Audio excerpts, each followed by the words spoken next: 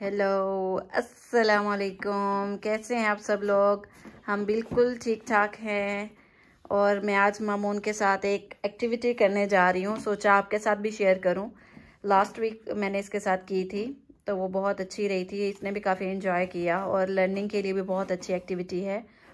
इसके लिए आपको चाहिए लाइक पेपर तीन पेपर चाहिए कलर्ड वाइट भी हो जाए तो ठीक है। जी। कैंची बना रहे हो? ओके। इसके लिए आपको चाहिए ग्लू स्टिक एक कैंची और एक पेंसिल। हम इसके ऊपर नहीं बेटे। तो मैं आपको दिखाती हूँ अब आगे आपने क्या करना है।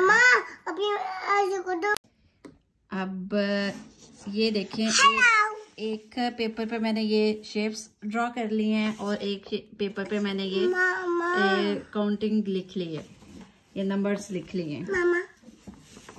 और अब इनकी मैं कटिंग करूँगी और फिर इधर भी मैं ये सेम ये ड्रॉ करूँगी और फिर मामून को कहूँगी कि वो यहाँ पे लगा दे। ये देखें ये सारी मैंने शेप्स काट ली हैं और ये कुछ नंबर भी अभी काटे हैं और ये मामून लगा रहा है।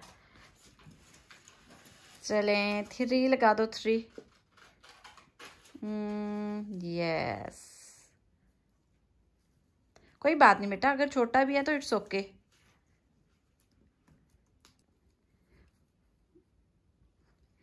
ये देखिए हम मामून से लगा रहे हैं। अपनी मर्ज़ी से ही लगाता है जो इसका दिल करता है। कुछ नहीं होता बेटा कोई बात नहीं कर परफेक्ट नहीं आता तो।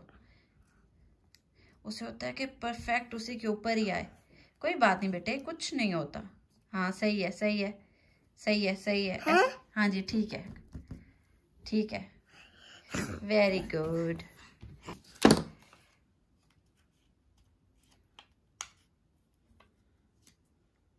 गुड शाबाश ये देखें ये मैंने इसको करवाया था लास्ट वीक जी सामा सामा सेम और ये ये इसने ये सारा खुद ही किया था। और ये मैंने इसको बस कटिंग करके और ये शेप्स ड्रॉ करके दे दी थी। और इसने फिर ये खुद ही बनाया था। अगर आपके बच्चे बड़े हैं थोड़े लाइक फोर ईयर और फाइव ईयर्स के हैं तो फिर वो ज़्यादा ये ये वाली ये वाली एक्टिविटी वो ज़्यादा आसानी से कर सकेंगे। ये देखें वन टू थ्री क्योंकि ये छोटी छोटी शेप्स हैं ना तो मामून इसको ज़्यादा इंजॉय नहीं कर रहा था ये मैंने कोशिश की कि ये कर ले लेकिन इसने ये वाला नहीं किया दूसरे ज़्यादा इंजॉय किया तो इसलिए मुझे लगता है कि शायद थोड़े बड़े बच्चों के लिए ज़्यादा बेहतर रहेगा। लर्निंग के लिए बहुत अच्छी एक्टिविटीज़ है।